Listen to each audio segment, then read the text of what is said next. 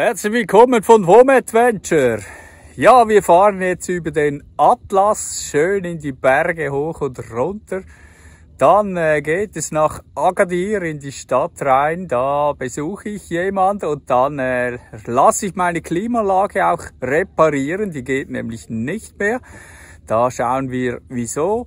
Und dann geht es am Strand entlang über Sandpiste nordwärts, nein, südwärts, Entschuldigung, südwärts runter, äh, ja, äh, an einer ganz schönen, steilen Klippe entlang, oberhalb natürlich. Und da nehme ich euch mit und viel Spaß beim Zuschauen.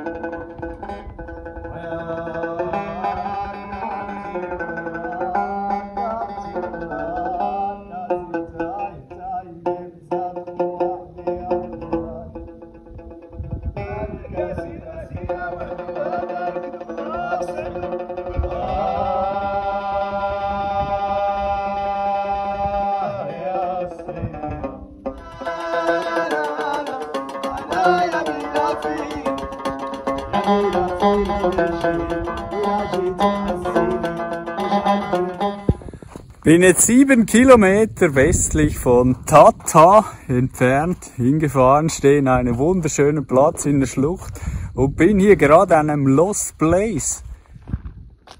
Ein bisschen erkunden und äh, ich meine, das sind gute Häuser gebaut, die halten lange, außer das Dach ist überall eingestürzt.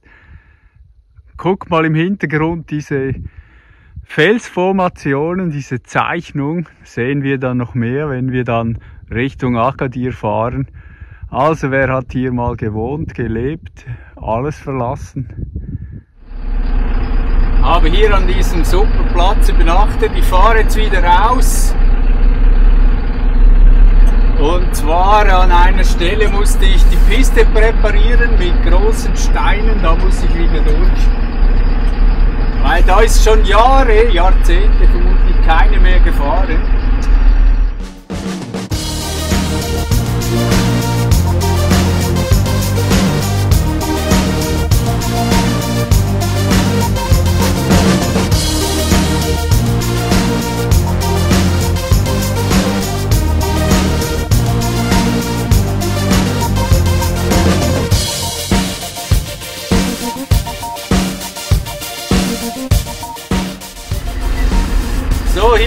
Stelle genau da vorne, da war ein riesen Loch. Ich habe da Steine hingelegt. Jetzt muss ich da wieder drüber fahren.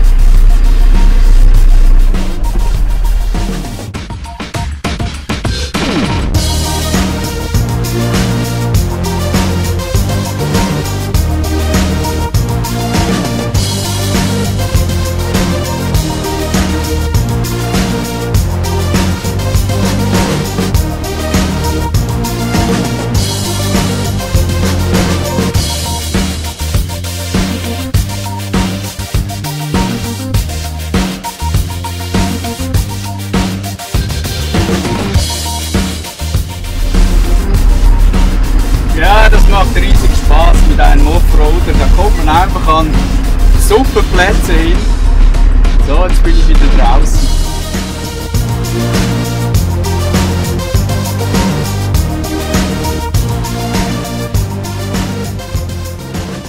Jetzt guckt euch das an, hey. Das ist ja der Hammer. Wie schön, hey. Gott, hey. Flusslauf trocken. Ah. Gott, ey. Marokko ist ein Traumland. Ein Vario fährt im Vario mit. Ist das geil. Jetzt kommen wir zwischen den Bergen in eine riesengroße Ebene rüber.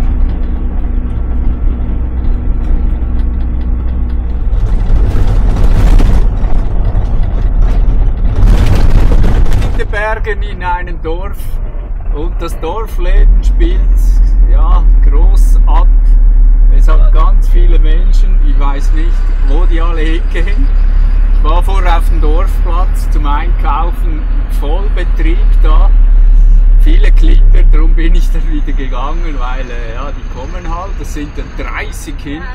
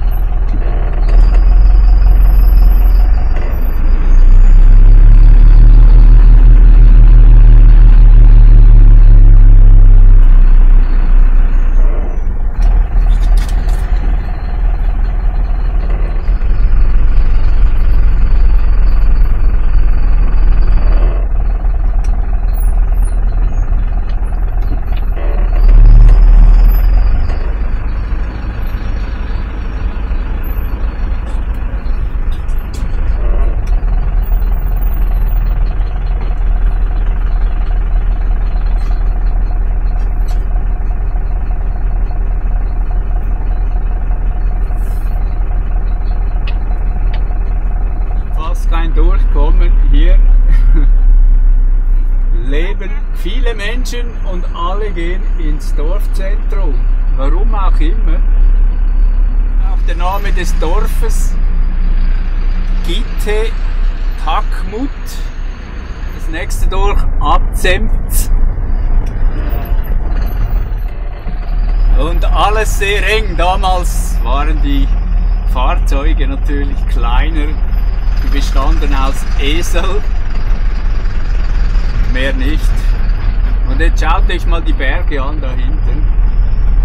Die sind gezeichnet von Gottes Hand. Und das nächste Dorf tauriert. Eins nach dem anderen. Ich bin draußen, das zog sich jetzt über mehrere Kilometer in dieser Ebene, also kleine Tal, nein, es war ja die große, äh, so ein Nebenarm hier, da muss es Wasser geben.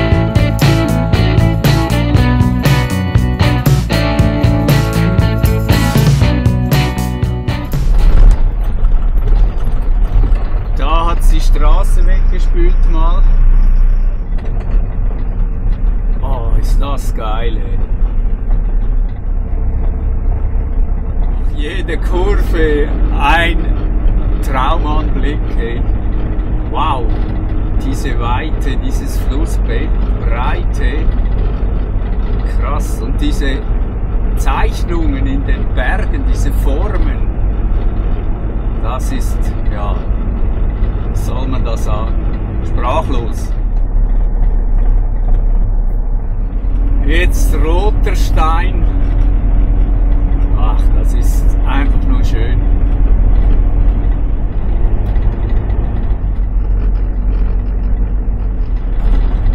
Kann nur sagen, ein Traum ist das, ein Traum. Dieses Flussbett hier, daneben die Straße, schön breit. Also wenn da Wasser kommt, dann richtig. Letzten Februar, glaube ich, das letzte Mal. Also das ist die P1805, kann ich sehr empfehlen, eine Nebenstraße. Äh, wie immer auf Polarsteps, seht ihr auch, wo ich da durchgefahren bin.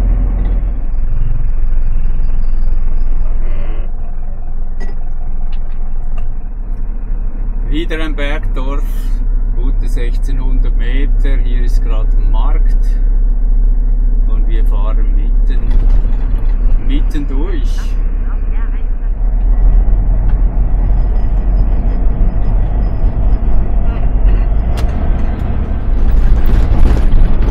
Also die Berge sind noch weit und immer wieder mal ein Dorf. So, da kommt mal ein Camper uns entgegen. Das Dorf ist passierbar. Äh, die Straße, die Passstraße. Hannamer, das ist dann aber schon das nächste Dorf. Das Dorf liegt auf 1650 Meter und wie es heißt, konnte ich nicht lesen.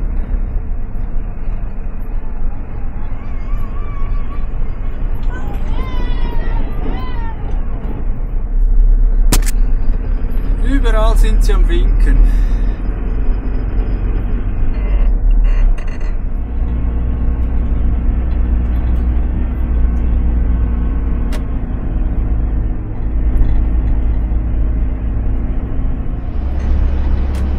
Das ist der Hammer, es hört nicht auf. Kilometer um Kilometer auf 1600 etwa im Moment.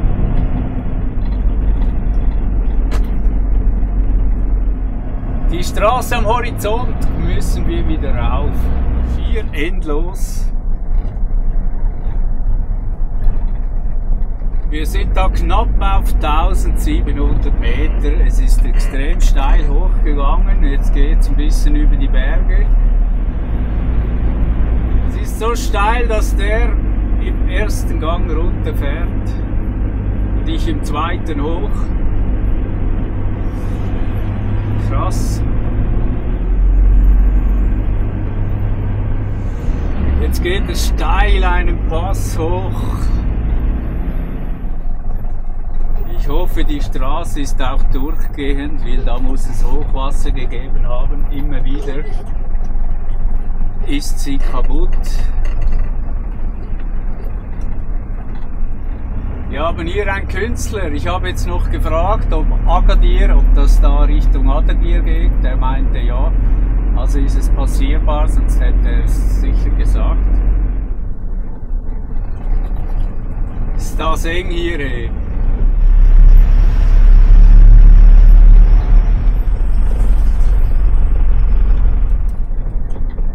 Das kann es auch geben, ab und zu ist die Straße kaputt, weggeschwemmt.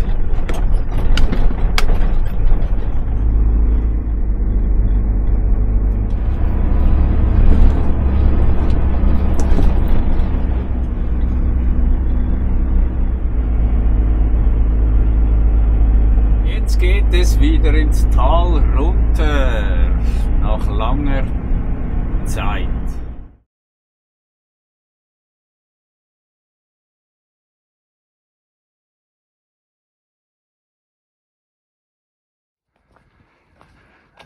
Hier oberhalb in den Bergen haben sie ein bisschen einen anderen Baustil, weil sie Steine haben. Die Häuser da, die halten sicher viel länger. Ich bin in ganz kleinen Dörflein, da wo ich übernachtet habe. Also ich habe außerhalb übernachtet und laufe jetzt einfach mal da rein.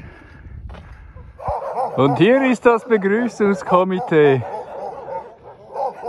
Und meine Hunde kommen immer klar, die sind äh, nicht so böse wie der Ruf. Und ich beschütze meine Hunde prinzipiell nicht. So haben sie gelernt, mit allen Situationen umzugehen.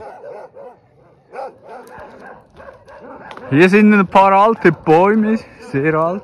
Und hier war das alte Wasserreservoir. Jetzt nicht mehr in Gebrauch, da sie haben jetzt äh, Leitungswasser. Bin jetzt mitten in Agadir, voll im Stadtzentrum und ich habe hier Verwandtschaft und die gehe ich jetzt besuchen. Und zwar hier wohnen sie.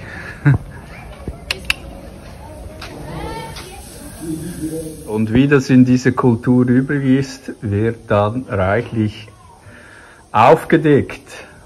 Ar das ist Amalu, Arganöl, das ist glaube Olivenöl und irgend ja was Süßes, weiß nicht was das ist. Ja, ich bevorzuge das Gesunde, die Nüsse.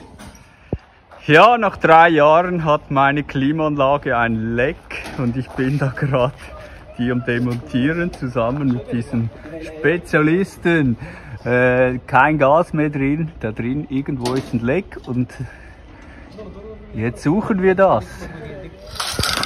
Wir haben das Leck gefunden und zwar ist es genau hier, genau hier, was ich eigenartig finde. Da muss es irgendwie ein bisschen Raum haben. Also bei uns werden Sie vermutlich die Anlage wegschmeißen. Hier wird es gelötet.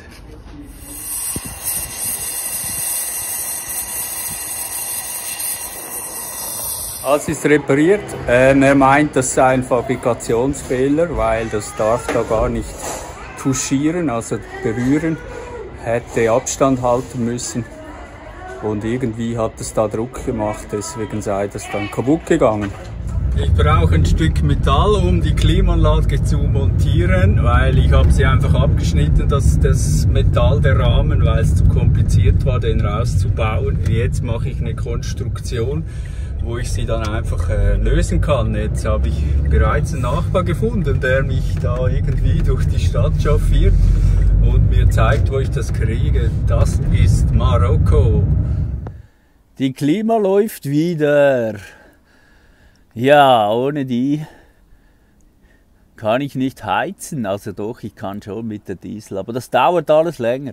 Ja, ich habe jetzt noch Halte gemacht, weil man kann, ich kann die fast nicht runternehmen. Dann habe ich die Träger einfach durchgetrennt und jetzt diese Halter gemacht. Und den neuen Verschweiß muss ich noch anmalen, äh, streichen und jetzt kann ich nur noch diese Schrauben lösen da und dann kommt sie runter.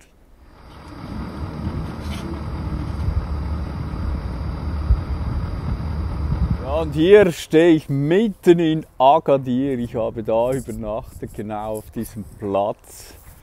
Aber ein Wächter ist da. Da wird viel geklaut, hat man mir gesagt. Ja, ich habe es überlebt, aber äh, Städte sind nicht so meins. Wie kann man hier nur drin leben? Hey, das ist der Wahnsinn. Ich brauche Natur, ich brauche Ruhe. Aber ich bin ja auch schon älter. Ich bin in der Stadt ja aufgewachsen, Stadt Zürich als kleines Kind oder Kind, ja, kann man das jetzt nicht mehr. Ich bin gestern Abend noch rausgefahren ans Meer und bin da neben einem Militärkontrollpunkt. Die habe ich gefragt. Ich durfte freundlicherweise hier schlafen und heute habe ich richtig Arbeit. Ja, und wie ihr gesehen habt, es regnet, es regnet. Wann habe ich den letzten Regen erlebt? Ist schon lange her. Ja, auf jeden Fall heute meine Arbeit ist Hundefutter kochen, also Huhn mit Chicken, Reis mische ich immer. Dann Video schneiden, ich schneide jede Woche das Video, ja, wisst ihr ja. Und äh, Wäsche waschen, Bettwäsche waschen. Das alles mache ich hier. Es trocknet extrem schnell, oder zuvor. Ich habe zum Glück das meiste schon gewaschen. Äh, innerhalb einer eineinhalb Stunden ist das trocken, äh, der Überzug für das Bett. Jetzt ist nur noch ein Teil, das ist jetzt halt in der Fahrerkabine. Ich habe das so gemacht, dass ich einfach die Tür zumachen kann, wenn es regnet. Und jetzt regnet es tatsächlich hier. Ja, wunderbar. Und äh, dann fahre ich sicher weiter. Und ich bin nicht allein, Ulrike und Ivo sind noch zu mir gestoßen. Ah, mir gefällt die schönsten Plätze direkt an der Küste, Sand ist da. Äh, was will man mehr haben? So, nächstes Abenteuer steht an und zwar etwa 30 Kilometer durch den Sand an Küstennähe. Die Ulrike ist schon mal vorgefahren. Äh, der Sand ist jetzt momentan perfekt, weil es ja geregnet hat. Aber heute fahren wir nur ein bisschen und der Rest dann morgen. Hier geht es hoch, mal schauen wie es geht. Geht eigentlich gut. Ich habe die Piste verlassen, wie ihr seht. Gehe wieder drauf fahre ich wieder runter durch, da ist ein bisschen weicher. Und jetzt geht es ziemlich hoch.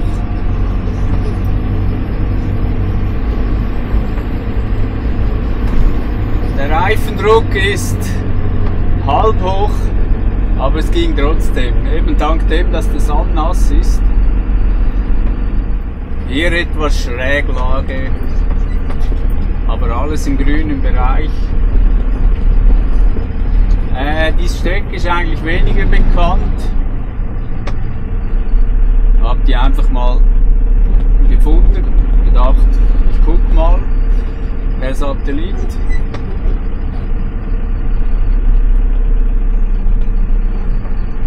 Oh, das ist steil. Du musst halt da hoch! Du kannst ja zurück, zurückgehen. Die Ulrike kommt nicht hoch da, aber die hat auch noch äh, viereinhalb Bar und dreieinhalb drauf, äh, weil wir eigentlich heute nicht weit fahren. Ja, sie können es mal probieren. Also ihr seht, da fährt selten eine durch, oder die Einheimischen. Voller Sand jetzt da.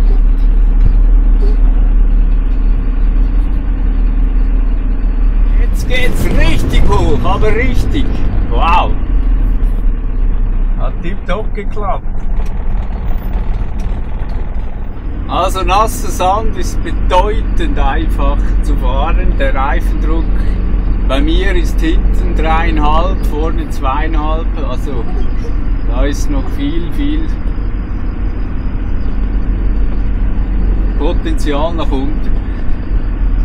Ist mal was anderes an der Küste entlang im Sand zu fahren. Mit den optimalen Verhältnissen.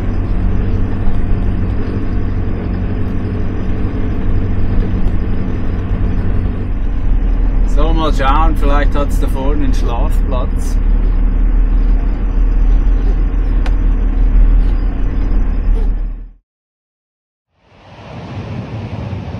Das ist unser super Platz. Die Sonne kommt gleich. Gestern war Schlechtwetter. Aber das ist egal. Das war eine Gelegenheit, um die Kapazität meiner Batterie zu prüfen. Gestern habe ich richtig Strom verbraucht, gewaschen, gekocht, Raclette gegessen und jetzt bin ich bei 8%. 560 Amperestunden sollten Sie theoretisch haben, 520 verbrannt.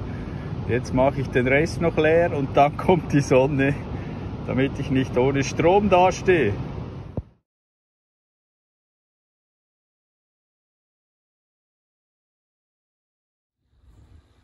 Also Kapazitätstest bestanden, es sind etwa 245 Ampere äh, und plus 5 Ampere noch, äh, Messfehler auch noch, also 250 sind sicher drin. Eine Zelle hat dann äh, ja tiefere Spannung gehabt, dann war, dann musste ich dann abbrechen, aber äh, eine ist dann ganz gut, äh, ja, das kann vorkommen und jetzt äh, muss ich alles wieder hochladen und das dauert natürlich ein paar Tage. Bisschen spazieren am Strand und kaum lauft man da zu den Klippen. Müssen mal schauen, ist alles voll mit Fischerhäusern. Also jeder hat so seinen Platz, da Gebäude sogar. Ja, da leben und wohnen auch ein paar. Die haben sogar eine Wasserstelle. Mit dem Eimer da runter aus einem Brunnen und dann holen die Wasser. Also hier ist der Brunnen. Da geht's runter. Jetzt hole ich mal einen hoch.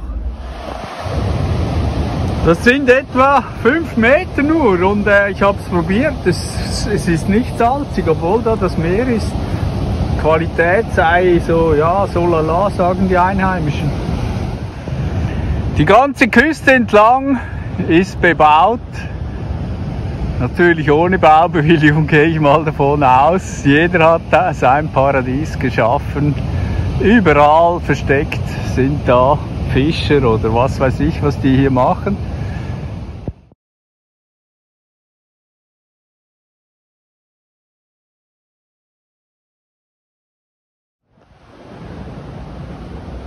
So haben die das Haus gebaut. Ich glaube, da sind schon manche Generationen haben hier gelebt früher.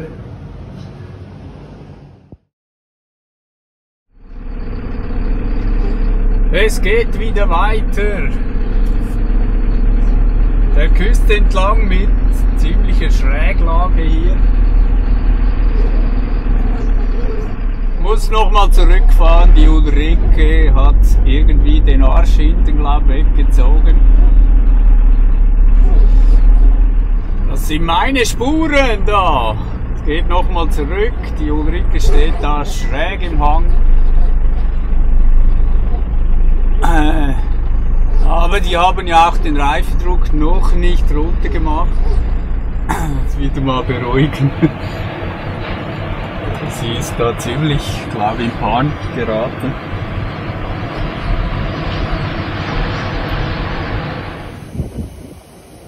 Also alles halb so schlimm. Sieht schlimmer aus, als es ist.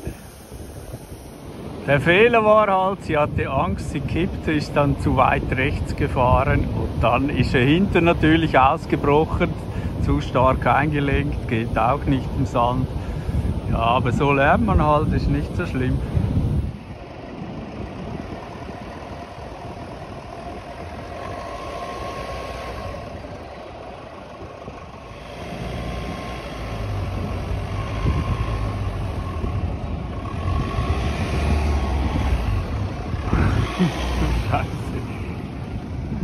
Okay, jetzt ist sie wieder auf der Spur.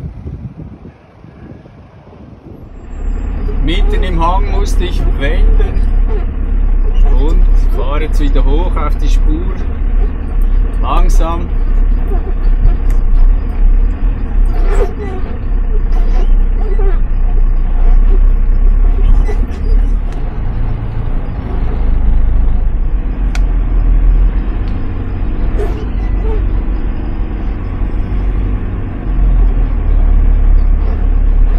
Die ganze Küste ist äh, mit Häusern voll gebaut, also Häusern zum Teil in den Steinreihen, aber überall.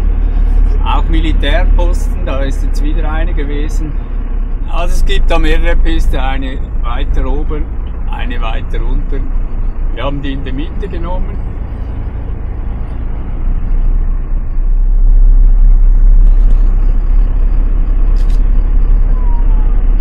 Circa 5 Kilometer erreichen wir ein kleines Dorf mit dem Namen Sidi Buffai.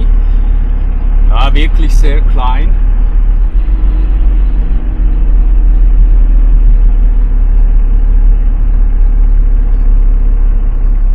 Also nach dem Dorf, da waren wir schnell einkaufen, ist es be- bedeutet nicht mehr so sandig. Schade eigentlich. Ja, auf der Suche nach einem schönen Platz da an der Küste entlang. Die zieht sich insgesamt, glaube 30 Kilometer hin.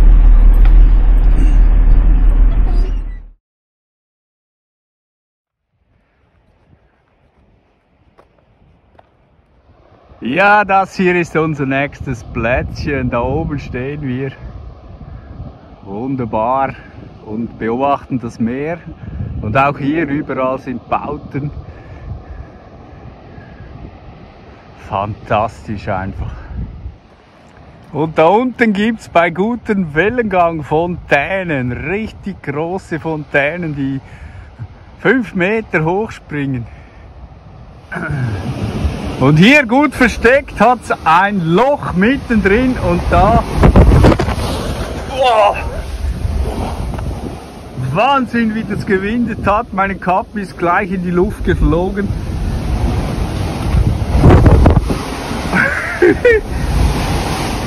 Wahnsinn, also da spritzt dann das Wasser extrem hoch. Ihr es da. Wow.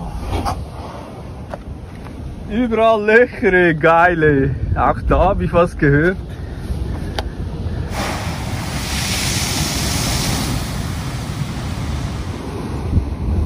Das Teil ist wie ein Kamin. Und wenn eine Welle kommt, dann gibt es so eine Druckluft. Das ist Wahnsinn.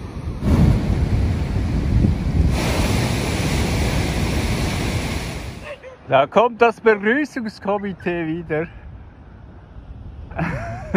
Rennen her, dann bremsen sie ab, wenn meine entgegenkommen. Geil. Ja, wie ihr seht, hier überall diese Wohnungen in den Felsen. Hey. Alles verbaut. Die Marokkaner dürfen das offenbar, die müssen es nur anmelden, keine Baubewilligung. Und dann kriegen sie eine Nummer fürs Haus. Schauen wir das mal näher an. Also da seht ihr auch die Nummer 254. Ja, ist natürlich eine Traumlage hier. Und hier werden der Strand zum Baden. Wir stehen ja da oben. Wir laufen entlang der wunderbaren Klippen. Hier kann man echt baden, wenn man will. Da darf man auf keinen Fall runterfallen, weil sonst ist man weg. Da sind sie, die süßen Hündchen, und haben uns jetzt entdeckt. Sind noch jung. Ja, so, das war es wieder von mir und danke für den Daumen hoch, danke fürs Teilen, Verlinken und äh, auch für ein Abo allenfalls, wenn ihr neu dabei seid. Wenn es euch gefallen hat, ja, herzlichen Dank. Also dann, bis in einer Woche wieder.